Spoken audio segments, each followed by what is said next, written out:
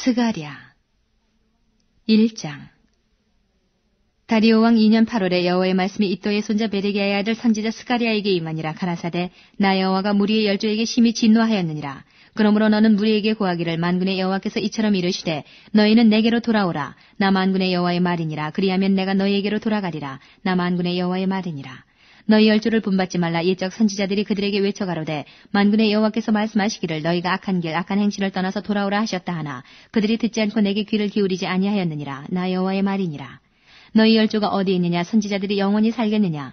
내가 종 선지자들에게 명한 내 말과 내 전례들이 어찌 내 열조에게 임하지 아니하였느냐? 그러므로 그들이 돌쳐 이르기를 만군의 여호와께서 우리 길대로 우리 행위대로 우리에게 행하시려고 뜻하신 것을 우리에게 행하셨도다 하였다 하셨느니라 하라 다리오 왕 2년 11월 곧 스바덧 24일에 이토의 손자 베르게의 아들 선지자 스가리아에게 여호와의 말씀이 임하여 이르시니라. 내가 밤에 보니 사람이 홍마를 타고 골짜기 속 화석류 나무 사이에 섰고 그 뒤에는 홍마와 자마와 백마가 있기로 내가 가로되 내 주여 이들이 무엇이니까? 내게 말하는 천사가 내게 이르되 이들이 무엇인지 내가 내게 보이리라 하매 화석류 나무 사이에 선자가 대답하여 가로되 이는 여호와께서 땅에 두루 다니라고 보내신 자들이니라. 그들이 화석류 나무 사이에 선 여호와의 사자에게 구하되 우리가 땅에 두루 다녀보니 온 땅이 평안하여 정원하더이다 여호와의 사자가 응하여 가로되 만군의 여호와여 여호와께서 언제까지 예루살렘과 유다 성읍들을 궁일이 여기지 아니하시려나이까? 이를 노하신 지 70년이 되었나이다 하매 여호와께서 내게 말하는 천사에게 선한 말씀 위로하는 말씀으로 대답하시더라. 내게 말하는 천사가 내게 이르되 너는 외쳐 이르기를 만군의 여호와의 말씀에 내가 예루살렘을 위하며 시온을 위하여 크게 질투하며 안일한 열국을 심히 진노하나니 나는 조금만 노하였거늘 그들은 힘을 내어 고난을 더하였습니다. 그러므로 여호와가 이처럼 말하노라. 내가 긍휼히 여김으로 예루살렘에 돌아왔은즉 내 집이 그 가운데 건축되리니 예루살렘 위에 목줄이 치어지리라. 나 만군의 여호와의 말이니라 하셨다 하라 다시 외쳐 이르기를 만군의 여호와의 말씀에 나의 성읍들이 넘치도록 다시 풍부할 것이라. 여호와가 다시 시온을 안위하며 다시 예루살렘을 택하리라 하셨다 하라. 내가 눈을 들어본 즉 내 뿔이 보이기로 이에 내게 말하는 천사에게 묻되 이들이 무엇이니까 내게 대답하되 이들은 유다와 이스라엘과 예루살렘을 해친 뿔이니라 때에 여호와께서 공장 네 명을 내게 보이시기로 내가 가로되 그들이 무엇하러 왔나이까 하매 대답하여 가라사대 그 뿔들이 유다를 해쳐서 사람으로 능히 머리를 들지 못하게 하매 이 공장들이 와서 그것들을 두렵게 하고 이전의 뿔들을 들어 유다 땅을 해친 열국의 뿔을 떨어치려 하느니라 하시더라. 2장 내가 또 눈을 들어본 즉 한 사람이 청량줄을 그 손에 잡았기로 내가 어디로 가느냐 물은즉 내게 대답하되 예루살렘을 청량하여 그 장광을 보고자 하노라 할 때에 내게 말하는 천사가 나가매 다른 천사가 나와서 그를 맞으며 이르되 너는 달려가서 그 소년에게 구하여 이르기를 예루살렘에 사람이 거하리니 그 가운데 사람과 육직이 많으므로 그것이 성곽 없는 촌락과 같으리라. 여호와의 말씀에 내가 그 사면에서 불성곽이 되며 그 가운데서 영광이 되리라. 여호와의 말씀에 내가 너를 하늘의 사방 바람같이 흩어지게 하였거니와 이제 너희는 북방 땅에서 도망할지니라 나 여호와의 말이니라. 바벨론 성에 거하는 시오나 이제 너는 피할지니라. 만군의 여호와께서 이같이 말씀하시되 너희를 노력한 열곡으로 영광을 위하여 나를 보내셨나니 물은 너희를 범하는 자는 그의 눈동자를 범하는 것이라. 내가 손을 그들 위에 움직인즉 그들이 자기를 섬기던 자에게 노력거리가 되리라 하셨나니 너희가 만군의 여호와께서 나를 보내신 줄 알리라 여호와의 말씀에 시온에 따라 노래하고 기뻐하라. 이는 내가 임하여 내 가운데 거할 것임이니라. 그날에 많은 나라가 여호와께 속하여 내 백성이 될 것이요 나는 내 가운데 거하리라. 내가 만군의 여호와께서 나를 내게 보내신 줄 알리라. 여호와께서 장차 유다를 취하여 거룩한 땅에서 자기 소유를 삼으시고 다시 예루살렘을 택하시리니 무릇 혈기 있는 자들이 여호와 앞에서 잠잠할 것은 여호와께서 그 성소에서 일어나심이니라 하라 하더라. 3장 대제사장 여호수아는 여호와의 사자 앞에 섰고 사단은 그의 우편에 서서 그를 대적하는 것을 여호와께서 내게 보이시니라. 여호와께서 사단에게 이르시되 사단아 여호와가 너를 책망하노라.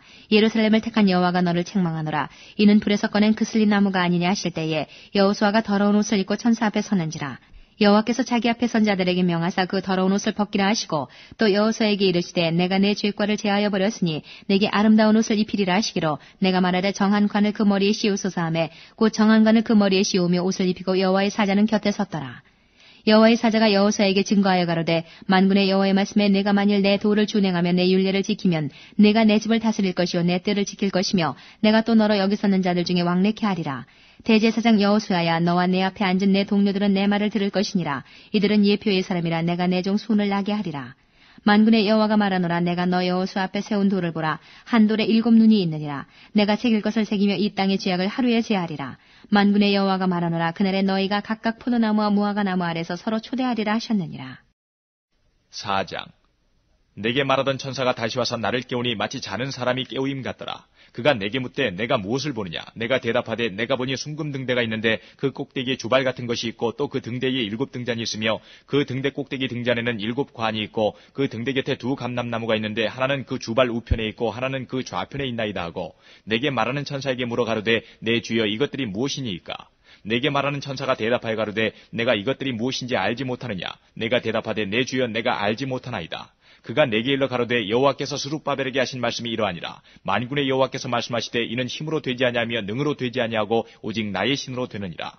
큰 사라 내가 무엇이냐? 내가 스룹바벨 앞에서 평지가 되리라. 그가 머릿돌을 내어놓을 때에 무리가 외치기를 은총 은총이 그에게 있을지어다 하리라 하셨고 여호와의 말씀이 또 내게 임하여 가라사대 스룹바벨의 손이 이전에 지대를 놓았은즉 그 손이 또한 그것을 마치리라 하셨나니 만군의 여호와께서 나를 너희에게 보내신 줄을 내가 알리라 하셨느니라 작은 일의 날이라고 멸시하는 자가 누구냐? 이 일곱은 온 세상에 두루 행하는 여호와의 눈이라. 다림줄이 스룹바벨의 손에 있음을 보고 기뻐하리라. 내가 그에게 물어 가로되 등뒤 좌우의 두 감람나무는 무슨 뜻이니까 하고 다시 그에게 물어 가로되 금기름을 흘려내는 두 금관 옆에 있는 이 감람나무 두 가지는 무슨 뜻이니까? 그가 내게 대답하여 가로되 내가 이것이 무엇인지 알지 못하느냐? 대답하되 내 주여 알지 못하나이다. 가로되 이는 기름 발리운 자 둘이니 온 세상의 주 앞에 모셔 섰는 자니라 하더라. 5장 내가 다시 눈을 든즉 날아가는 두루마리가 보이더라. 그가 내게 묻되 내가 무엇을 보느냐 하기로 내가 대답하되 날아가는 두루마리를 보나이다. 그 장이 20규빗이요 광이 10규빗이니이다. 그가 내게 이르되 이는 온 지면에 두루 행하는 저주라. 무릇 도적질하는 자는 그 이편 글대로 끊쳐지고 무릇 맹세하는 자는 그 저편 글대로 끊쳐지리라. 만군의 여호와께서 가라사대 내가 이것을 바라했나니 도적의 집에도 들어가며 내 이름을 가리켜 망령되이 맹세하는 자의 집에도 들어가서 그 집에 머무르며 그 집을 그 나무와 그 돌을 아울러 사르리라 하셨느니라. 내게 말하던 천사가 나와서 내게 이르되 너는 눈을 들어 나오는 이것이 무엇인가 보라 하기로 내가 묻되 이것이 무엇이니까? 그가 가로되 나오는 이것이 에반이라. 또 가로되 온 땅에서 그들의 모양이 이러하니라. 이 에바 가운데에는 한 여인이 앉았느니라 하는 동시에 둥근 납 한 조각이 들리더라. 그가 가로되 이는 아기라 하고 그 여인을 에바 속으로 던져놓고 납 조각을 에바 아구리 위에 던져 덮더라. 내가 또 눈을 들어본즉 두 여인이 나왔는데 하계 날개 같은 날개가 있고 그 날개에 바람이 있더라 그들이 그 에바를 천지 사이에 들었기로 내가 내게 말하는 천사에게 묻되 그들이 에바를 어디로 옮겨가나이까 하매 내게 이르되 그들이 신할 땅으로 가서 그를 위하여 집을 지으려 함이니라. 준공되면 그가 제 처소에 머물게 되리라 하더라.